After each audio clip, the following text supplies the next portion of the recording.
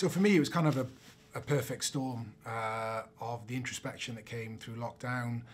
the collective confidence that I felt come from the Black Lives Matter movement and that kind of global conversation around around race and racism, um, and something much closer to home, and, and, and that was the uh, the response to the Welsh athlete Sam Gordon. Um, he posted an interview that he did uh, um, in response to Black Lives Matter, and the first the first message on his feed was he doesn't look Welsh, and that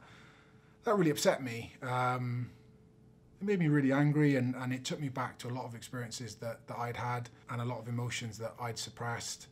Um, and that really was the catalyst to, to want to explore what being black and being Welsh was really like in, in 2020.